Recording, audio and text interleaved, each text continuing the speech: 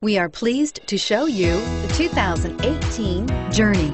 Dodge Journey combines the practicality of an SUV with the comfort of a car, all while boasting a style all its own. The Journey's optional third row seat, along with innovative features like a chilled beverage cooler and in-floor storage bins, make it a good and affordable alternative to a traditional minivan. This vehicle has less than 100 miles. Here are some of this vehicle's great options. Traction control, anti-lock braking system, Bluetooth wireless data link for hands-free phone, air conditioning, power steering, aluminum wheels, cruise control, floor mats, climate control automatic, FWD.